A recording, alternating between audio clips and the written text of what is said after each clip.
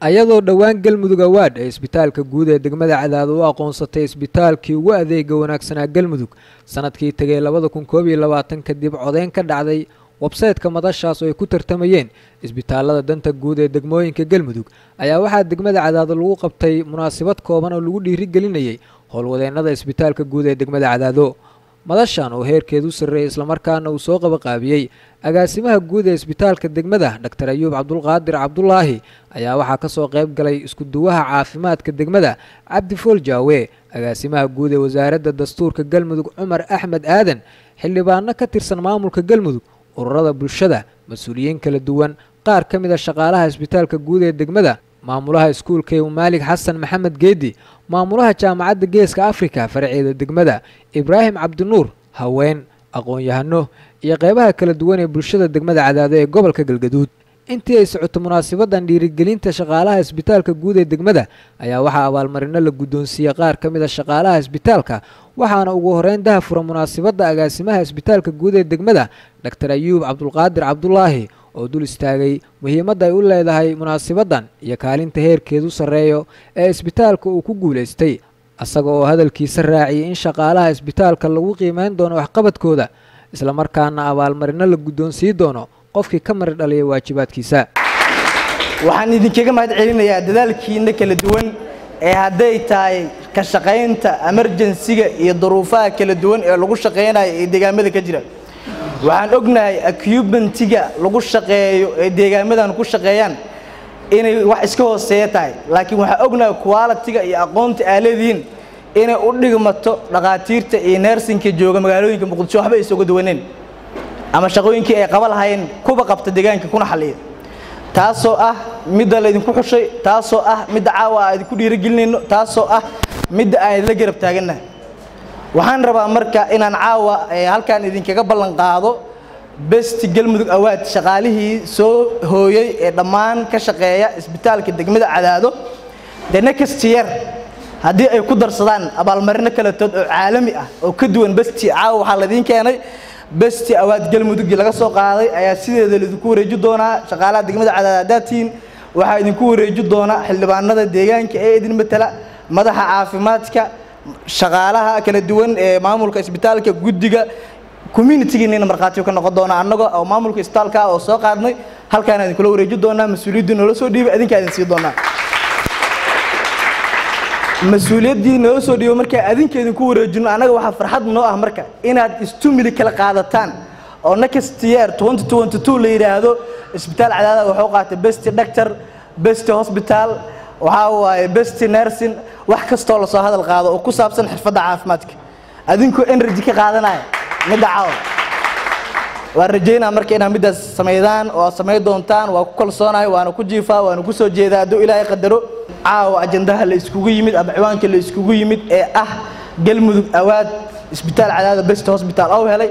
Shaqaalihii soo hooyey inaan dhahno waa mahadsantihiin waa u qalantaan inaad qaadataan besti awaad waxaan markhaati ka ahaa kaagaasimo ahaan shaqadii nii wanaagsaneed iyo dowrkii aad kula hedeen isbitaalkaas habeen iyo maalin isaa u shaqaynayseen ilaahay idinka abaal siiyo. Dadkiina iyo deegaankiina idinkaga habalaaya annagoo maamulkii idinkaga abaalhayna waxaan rajaynayaa maalinta yowmalqiyaamana inaad ajar iyo xasanaad aad ku qaadataan shaqadan caafimaadka ah ee aad ka shaqaynaysaan. Middaanuna waa dhiirigelintiinii koowaad waxaa idin dhimanaa doontaa.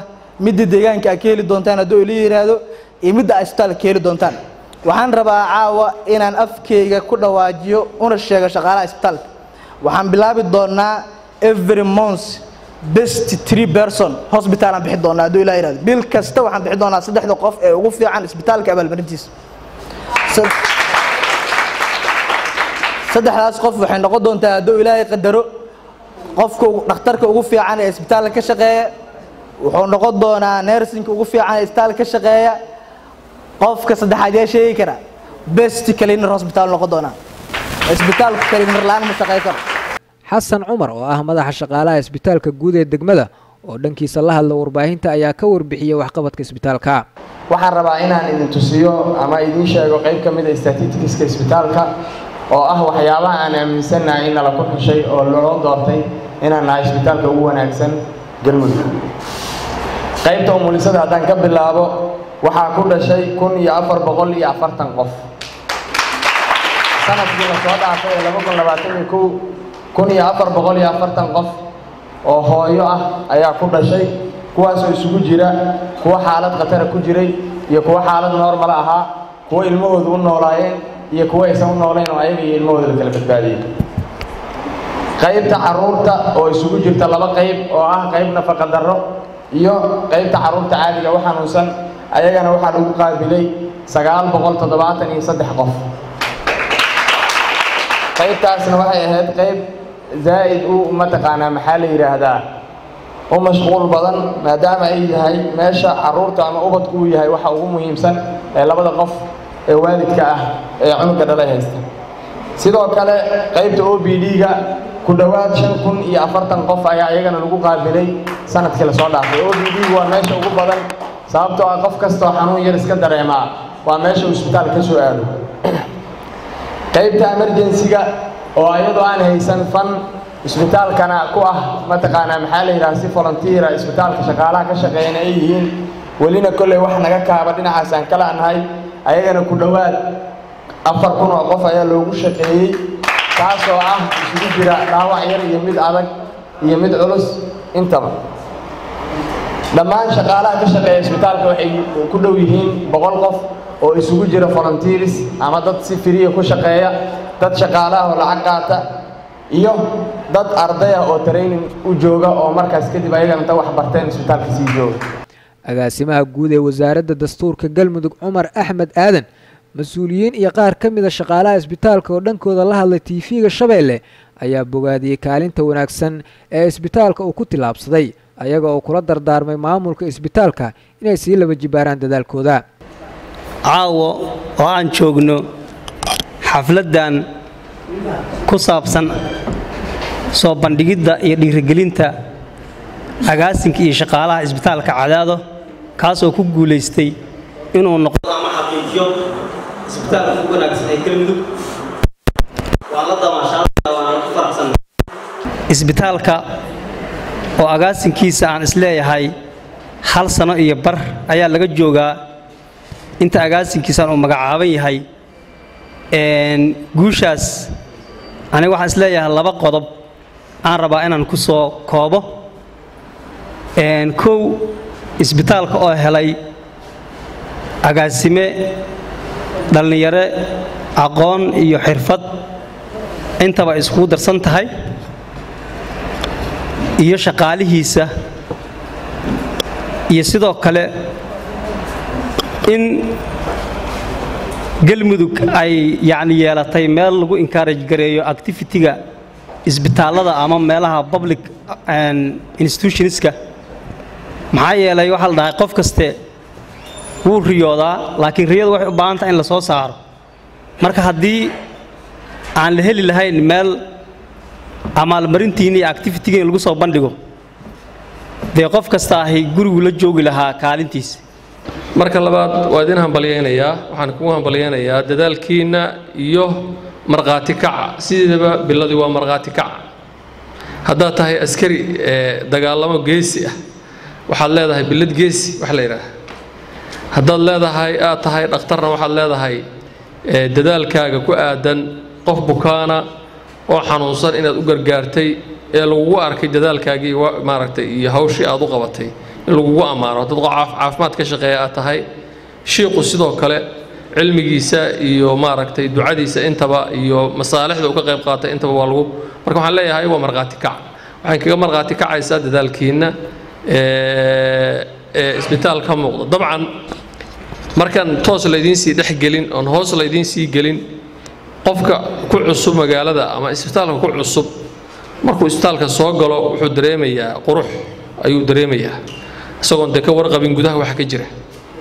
Marka waqtiyadii kala duwanaa aan soo marnay waxaan dhihi karnaa waa waqtiga ugu qurxoonaa isbitaalku xagga muuqaalka marka la yidhaahdo qaybaha kale sii hooseeye ee ah bukaanada iyo maaragtay dadaalka bukaanka loo qabta isaguna waa intii laga soo hadlo daatada sheegaysa iyaduna waxa buugga lagu qoray ayaa iyadana sheegaysa oo ah tirada dadka. Ilmaha hooyooyinka macnaha bukaan socda egtada jiifka dhammaan waxay sheegayaan inuu batay. Sababtu u batayna maxay tahay? Waa shaqo iyo dadaal la qabtay. Waa ku faraxsanahay cawada inaan taagnaado isbitaalkaygii maaragtay aan la shaqaynayay inuu noqdo isbitaalkii ugu wanaagsanaay ee galmudug taasina waxay muujinaysaa yahay maaragtay lafdhabarta degmada. Isbitaalka shaqaalaha keliya maysa guulaysan mana ee safarxin ee qof kasta ee ku sugan cadaadii nawaaxigeeda ama sheegto hoos imaado cadaadi general hospital way ku wada farxayaan.